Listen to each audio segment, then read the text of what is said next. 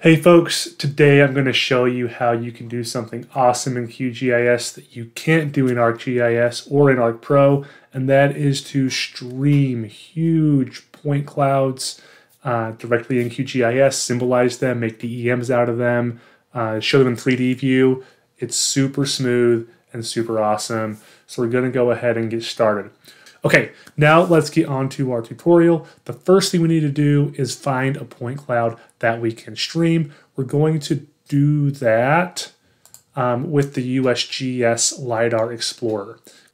Okay, so to do this, we're going to go to uh, the USGS LiDAR Explorer. We need a LiDAR point cloud that's either in EPT format, entwined point tiles, or COPC, which is the cloud optimized point cloud. We need one of those two formats. You can get these from the USGS LiDAR Explorer, the 3DEP LiDAR Explorer. I'm not going to do it here because I already have one. I'm going to show you what it looks like. What you're going to do is you're going to create an area of interest called control and drawn area. Um, you can see I'm having an index query filled network error here. What will happen is when you get it, you'll see a LiDAR processing or explore LiDAR, LiDAR data button down here. You'll click that. You'll download the PDAL pipeline. It's going to give you a JSON file. And I've talked about this in previous videos, so you can go check those out. And it's going to look like this. You're going to have a one-line JSON file that gives you pipeline type readers.ept and this file name, which is a URL to uh, a JSON file that specifies the EPT. Okay, so I am just going to copy this right here. I'm going to copy that, Control C. Now I'm going to go to QGIS. Okay, and here I am in QGIS, and I'm going to add a point cloud. So I can go to Layer Data Source Manager. I'm going to go to Point Cloud, and I'm just going to select Protocol HTTP. I'm going to paste in my URI, which is that URL address, and I am going to click Add and then I can close this and you can see that my point cloud is loading. This is going to take just a minute and now we can see that we have that whole point cloud for quite a large area and right now it's showing the classifications. Now I'm going to go in here real quick. I'm going to do some filtering on this. We can double click here. Um, I'm actually going to right click on it. I'm going to right click on here and do filter. And now I can do classification equals ground. So let's just get all the ground points and we'll say okay. So this will give us that ground classification. I'm going to come over and change my layer styling to attribute by ramp and I'm going to do it for z values and we're going to change these minimums and maximums because these are way off. I wonder why we can't load it there. Anyway, we're going to change these because those are not for z values. Um, we're going to change this to about 1300 and about 3500. This is meters. And there you go. Now you can see that we get a little more differentiation in those ground points. You can see where there's a reservoir and there's a lot of water missing uh, or there's a lot of water where we're missing ground points. We can zoom in and see the elevations here. And this is going to take a minute to load, and then you'll see us get more detail as we get into this. So here it comes, loading those tiles in. I have a lot of things running, so it's being a little slower than usual, but you can see how we can just zoom in and zoom out, and this seamlessly adjusts to our resolution. Okay. Now, the other thing we can do is we can go to view, um, 3D map views, new 3D map view. And you can see here that now we're going to be able to look at this in 3D. And it's going to take some time to load here. Anyway, you can see how we can easily stream this point cloud. And we haven't downloaded any data. That's perhaps the greatest thing of all this. We have not downloaded any data at all. I'm going to close this 3D map view. I'm going to zoom out here. Um, Now let's go through and we can actually make uh, a digital elevation model from this.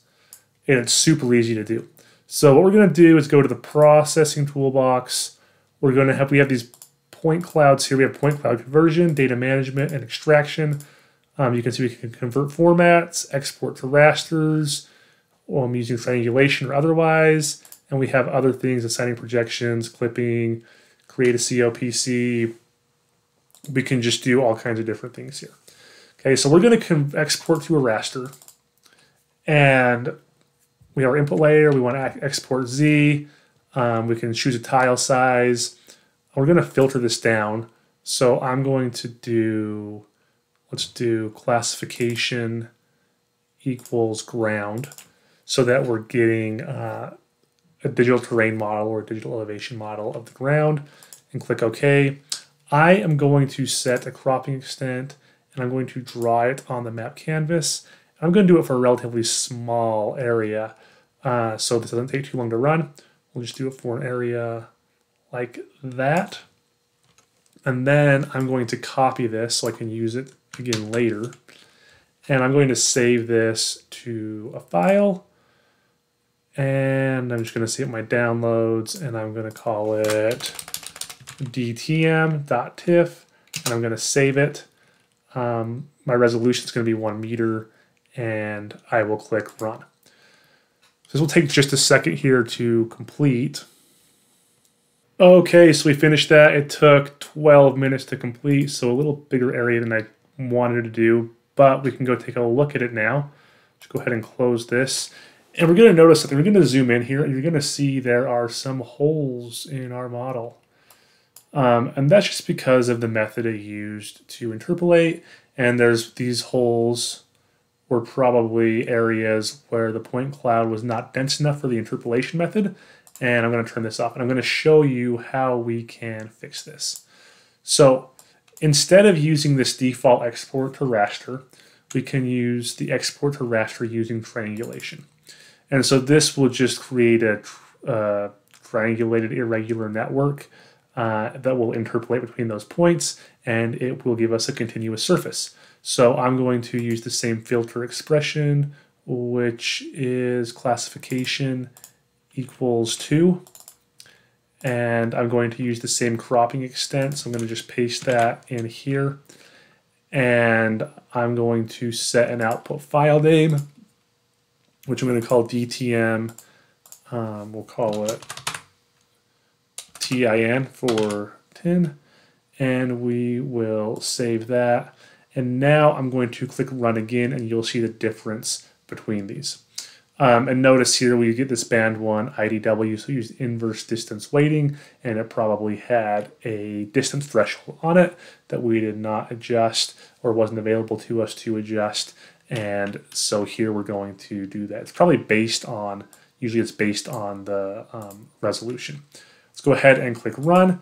And once again, this is probably going to take uh, 12 minutes or more. So we'll just pause this and let it go. Okay, so that completed. That one took half an hour to run. So I should have done a little smaller area. We can take a look at these results now. So now you can see our tin DEM from the triangulation. And let me turn this one underneath it off, uh, just so you can see there's no other layers turned on. You can see there are no holes there. Uh, and so the interpolation method using that triangulation approach gives us a smoother DEM without the holes when we do um, the triangulation interpolation, but it does take longer to accomplish. Okay, so that's just an example of how you can use these uh, these streamable point cloud formats. So like I said, this is an EPT. You can also use COPC files, um, cloud optimized point clouds. Um, to do this, this is not something you can currently do with ArcGIS Pro. In fact, Arc Pro only allows you to use LAS files. So you can't even load in LAZ files, which uh, seems pretty rudimentary to me. So QGIS has a lot of cool stuff coming with this. Um, they've, they've done a lot of cool stuff with this, and I expect more is coming. I want to point out one last thing. If we click on the export to raster, I forgot to mention this. Um, it gives you a little bit of information about the algorithm here. Um, So it doesn't give us a whole lot. You can see that it has IDW, so we know it's inverse distance weighted, um, but just giving you a little more information on that algorithm. So I hope you found this useful. Um, stick around for the next video. I'm going to show you how you can use these data to make a canopy height model in the next video. And so we'll go over that shortly. So thanks for watching and hope you found this useful as always.